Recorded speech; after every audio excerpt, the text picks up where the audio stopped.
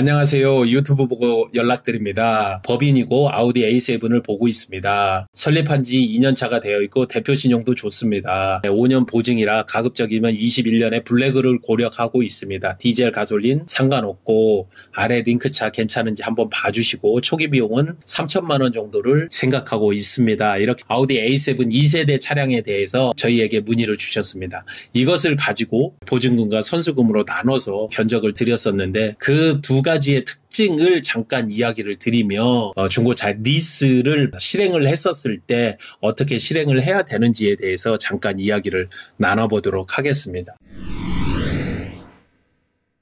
고객께서 원하셨던 차량은 A7의 2세대 21년 이후의 모델로 외장은 블랙만 하고 싶다. 디젤린 가솔린 상관없이 초기 비용은 3천만 원 정도로 해주시면 될 것 같고 본인들이 생각을 할 때 가장 중요한 것은 이율이다 이렇게 이야기를 주셨어요. 그래서 엔카에 나와 있는 차량을 하나 선택을 해서 보내드렸습니다. A7의 5.5 TFSI의 꽈트로 프리미엄 차량이고요. 21년 3월에 등록됐고 3만 2천 킬로를 정도를 주행한 차량입니다. 신차 금액으로는 9,511만 원, 시등록세까지 합치면 1억이 넘는 차량이에요. 블랙의 모카 시트 완전 무사고 차량으로 리스를 하다가 딜러가 본인이 인수를 해서 중고차 매매 상사 앞으로 이전을 해놓은 차량입니다. 휘발유 차량이고요. 현재 현금 광고 가격으로 6,980만 원에 나가고 있는 차량입니다. 전반적으로 봤었을 때 법인에서 원하셨던 차량과 가까운 차량이라고 제가 생각이 들어서 두 가지 견적을 드렸습니다. KB캐피탈을 통해서 견적일은 보증금으로 2,792만 원 40%, 잔가 최대 2,513만 원, 60개월에 2만 킬로, 동일한 조건으로 선납금 2,792만 원 조건으로 해서 제가 두 가지를 넣어 드렸는데요. 어떻습니까? 보증금의 월 리스료는 105만 6천 원, 선납금의 월 리스료는 69만 1천 원. 어떠한 선택을 하고 싶으신가요? 제가 이 견적서를 딱 드렸더니 대표 분께서는 뒤도 안 돌아보고 바로 보증금을 선택하셨는데요. 네, 보증금의 리스 이율이 5.6%고 선납금의 리스 이율이 10.9%라 총 이용 금액 기준으로 놓고 봤었을 때 보증금 방식이 8,854만 원, 선납금 방식은 9,454만 원, 보증금 방식의 총 납부 이자가 1,426만 원, 선납금 방식은 2,026만 원, 금액 차이가 600만 원 이상 난다는 것을 이 대표분께서는 금방 눈치를 채셨습니다.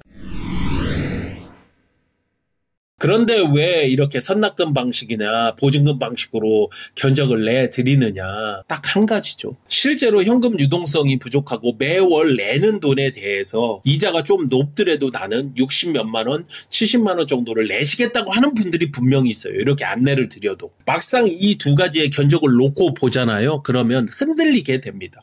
어? 35만 원 차이? 이러한 방법들을 중고차 리스의 일부 딜러들도 많이 쓰지만 신차에서 많이 씁니다. 뭐 이렇게 해서 매달 내는 돈이 100만 원보다는 뭐 60몇만 원 내시는 게 훨씬 이득이시잖아요. 약간 이자율은 높지만 누구라도 리스료 많이 내는 것을 원하지는 않거든요. 고객이 원하니까 고객이 원하는 것을 만족시켜 주는 거예요, 딜러들이. 일종의 cheating을 하면서 실제로 내는 금액은 이자 금액은 거의 600만 원 이상을 더 내게 되지만 눈앞에 보이는 것은 가장 이렇게 쉬운 방법으로 월 리스료를 줄이는 방식으로 계약서에 사인을 할 수 있도록 그래야 본인들도 역시 영업 인센티브가 나오고 고객도 만족하고 딜러도 만족하기 때문에 이렇게 낮은 선수금으로 영업을 하게 된다는 겁니다. 그런데 내가 법인 대표고 개인 사업자 대표라면 당연하게 이자 부분 생각해 보셔야 되고요. 이렇게 보증금 방식으로 해 주셔야 선납금으로 동일한 금액을 넣을 때보다 몇백만 원 이상이 이득이 된다는 점 꼭 생각해 주셔야 됩니다.